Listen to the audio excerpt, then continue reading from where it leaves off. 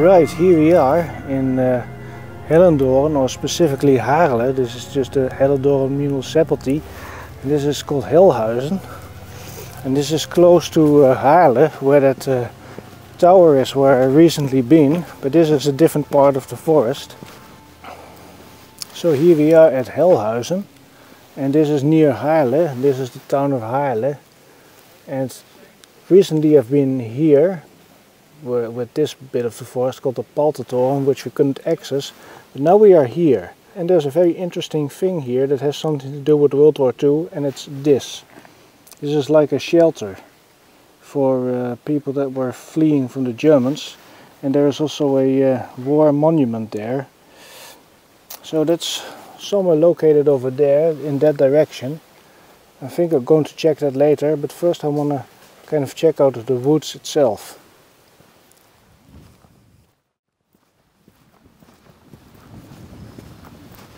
This is also called uh, the Sprengenberg. Um, we have recently been in the uh, summer vacation. This is essentially the other side of it.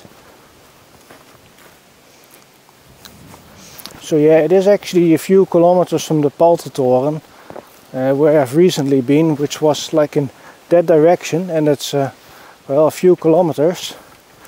But I just want to check out this bit of the forest uh, because I've never been here before this is like a first time experience for me checking it out. So we'll just see. Uh, it's a Sunday afternoon so there's a lot of like mostly elderly people walking that are also cycling and they have the annoying habit of talking loudly to each other which of course I have to edit out of the recording which is a bit annoying if you want to like film an information panel and Mm, speak about what's on the panel, then it's kind of annoying that there's so many cyclists kind of talking loudly. But yeah, what do we have here? This is a, a gas main. Hoge druk gasleiding. So this is a high pressure gas main. Every one of them has a number. There's even a phone number that you can call if there's some sort of accident. I wonder why this pavement is here, but yeah, there's some sort of access point. So let's follow the the ATB uh, trail for a bit.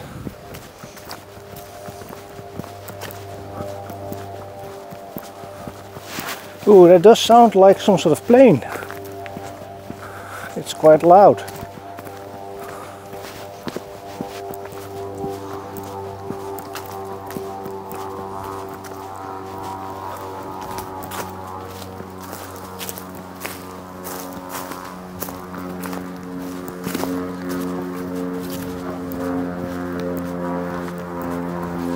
I wonder what kind of plane that would be. Actually I can't see it, I can only hear it.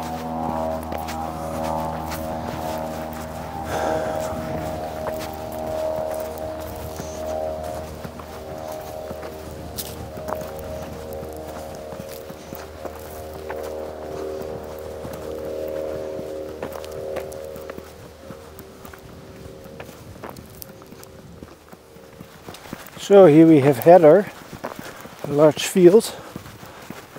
There was a road going to that direction.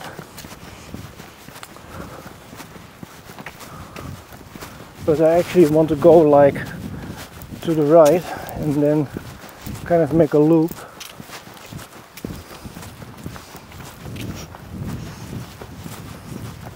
I have checked the uh, area beforehand. I also made a few screenshots uh, of the map. So I hope I don't get lost. I don't think I would, but I see some uh, something curious over there. What is this? Oh, they are finishing some sort of header repair. Yeah, they're doing stuff here. Hey, that's very interesting. I'm seeing various things here. And I don't know what it is. Maybe we could check it out. Even though it's not really in the direction that I want to go. Oh hey, maybe they are bees. Yes, it's got something to do with an imker, which is like a beekeeper. Trying to attract bees. What is that?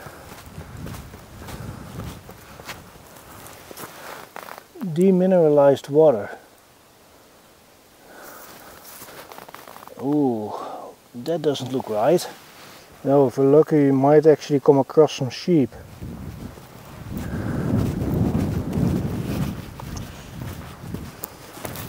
So I'm wondering what that is.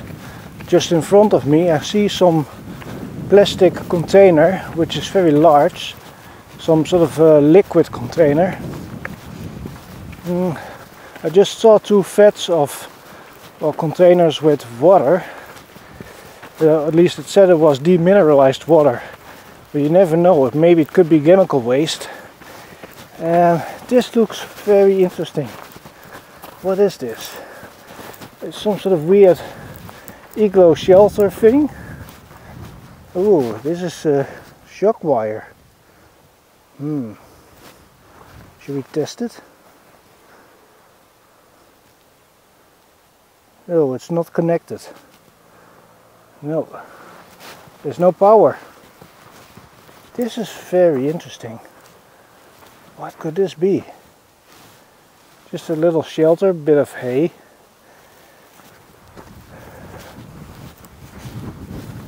I bet it's for some weird animal. Don't know what kind of animal. There's even like, oh, now I see what this is. This is a drinking system, so that, that is water. So some sort of animal can drink water here. And this area is like fenced off. Hey, that's interesting. I actually do see two, I actually see a few animals. Oh, they are pigs. Hey, interesting, bunch of pigs. They're sleeping. Yeah, just little porkers. Hmm.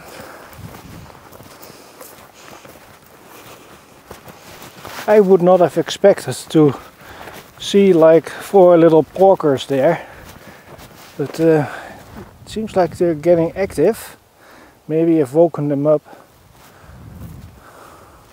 But those are not wild pigs or wild boar these are more like uh, regular ones although they're getting slightly wild because they're not completely pink they're like well natural they're they're grazing naturally hmm very interesting.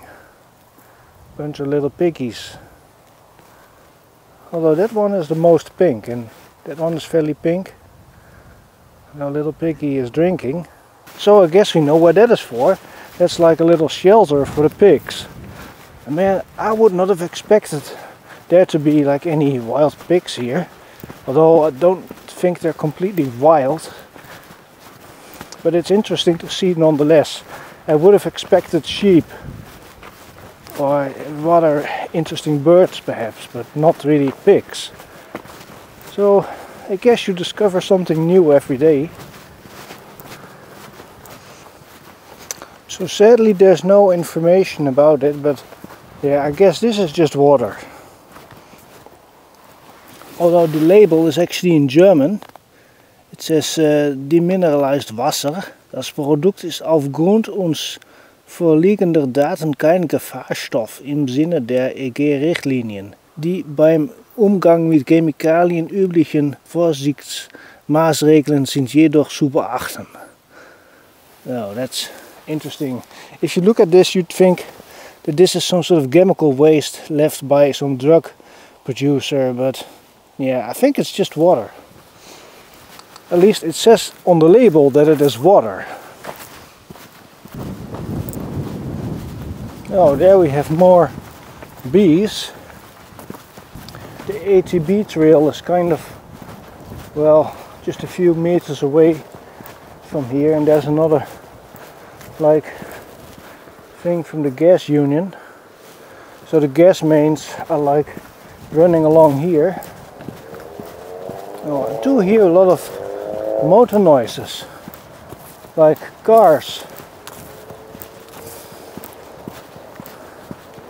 I guess we're pretty close to like a main road. We're now kind of walking on the uh, edge of the forest and the edge of the uh, heather field.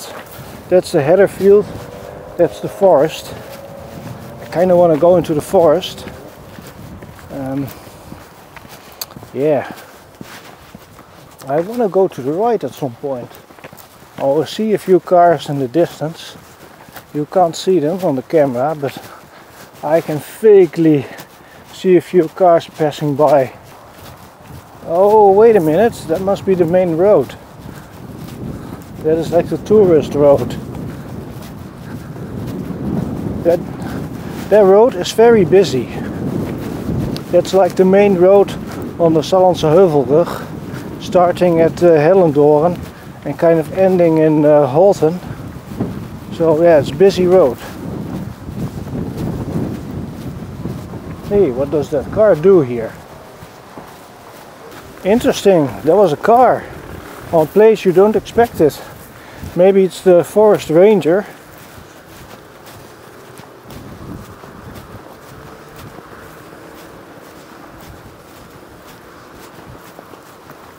Yeah, that is the main road.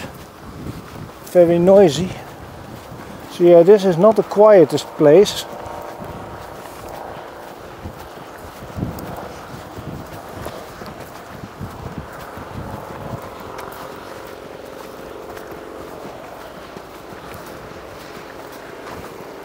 I didn't expect to get so close to the main road. I thought it'd be further away.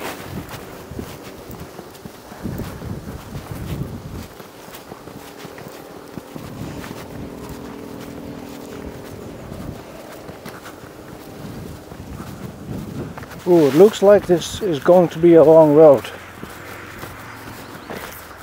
Hmm.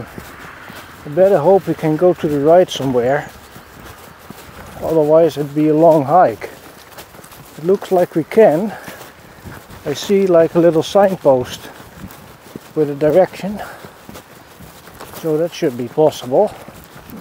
Alright, let's go here to the right.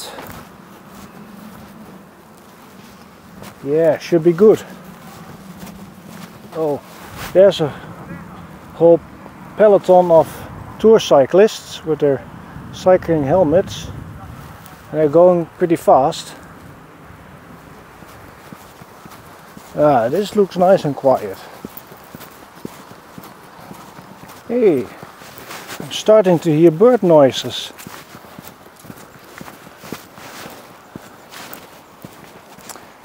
Wonder if there's any like raven birds hiding in those trees. It would be cool to uh, spot one especially to hear their vocalizations. I mean, this looks like the right sort of area for them.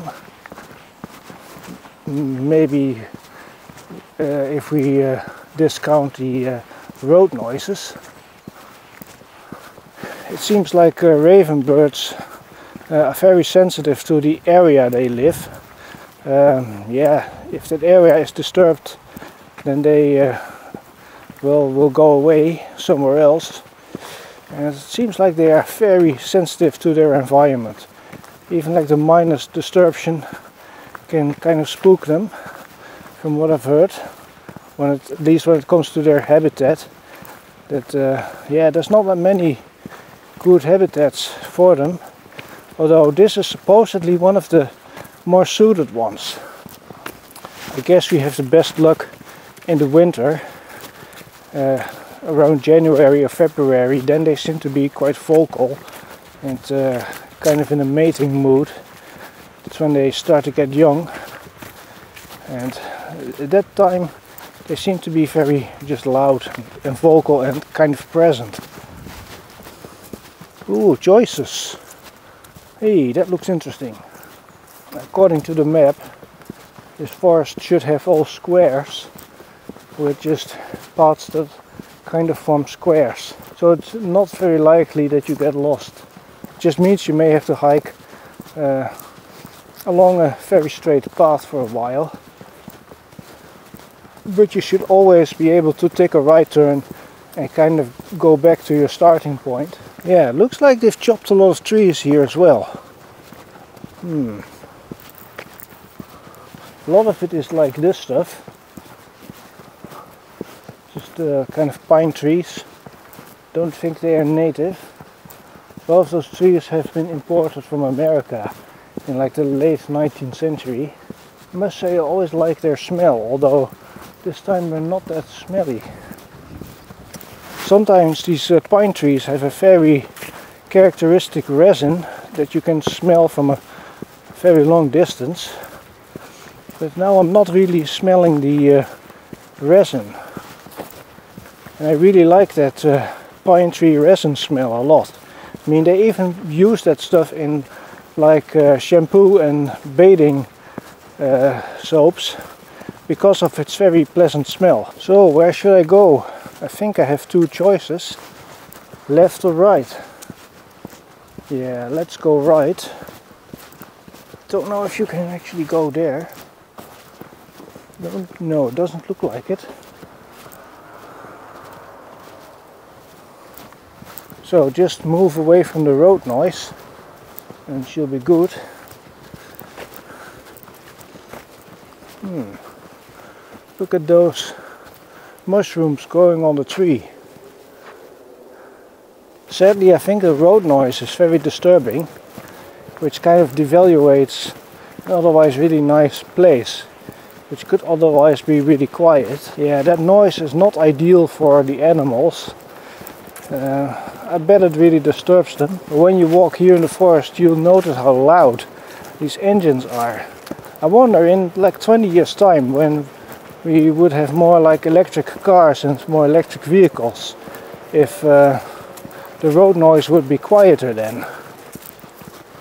Yeah, those electric cars, uh, I've heard that they are so quiet that they even have to give them a sound. Otherwise you couldn't hear them, just for uh, safety reasons. If you're cycling and there's an electric car like a Tesla behind you, it is awfully quiet. You don't really notice it that much. And a lot of people, when they cross the road, they are kind of using their ears to uh, detect if it is safe to cross. But with really quiet electric vehicles, that becomes kind of uh, something you can't really trust anymore. The vehicle is so quiet that you can barely hear it you only hear just the friction of the wheels and there's no motor noise anymore. So it, it kind of creates a new design problem where the car manufacturers have to invent a noise for an electric car. Well, there's a lot of places you can go. They all look the same.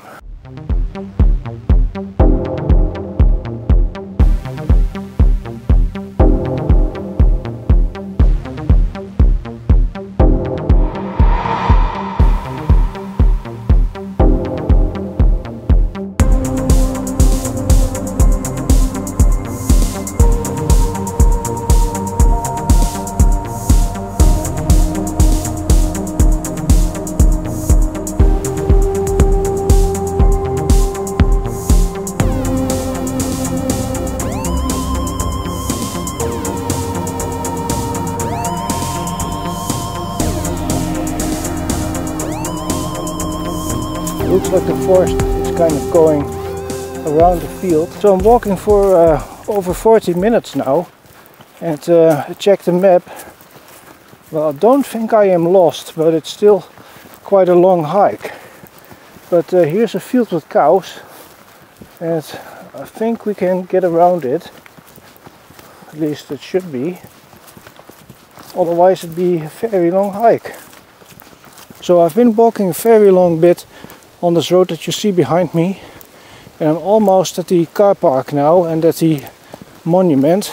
there's two elderly people. So I think that the monument is kind of there. Uh, I don't think I can film it because there's well people standing there and reading it. I don't want to disturb them. But maybe I can find that uh, shelter thing. So the um, onderduikershut or shelter for refugees during World War II is about 350 meters in that direction according to a sign. So 350 meters uh, could be somewhat of a hike.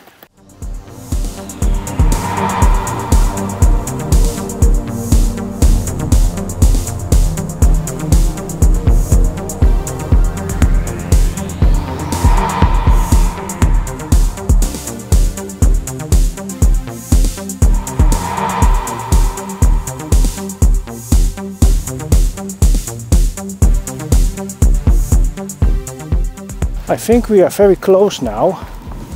There's a uh, signpost and I see a hill. So uh, let's take a look at this, uh, well, onderduikers hut or re refugee shelter. So here it is.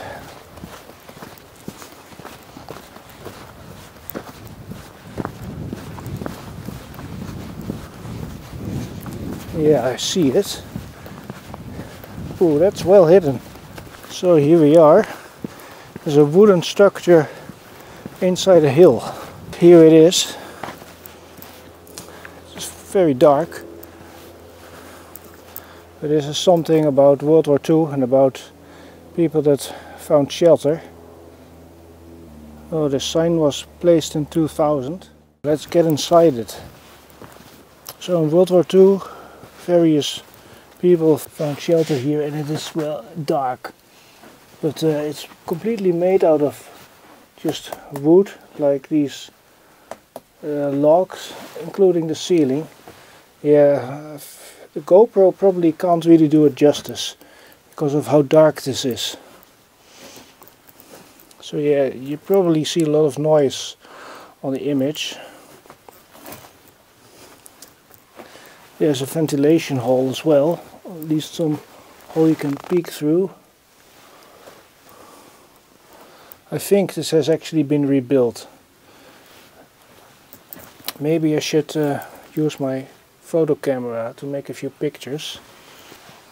So I'm making a few photos from different corners so you can at least have an impression of what it looks like.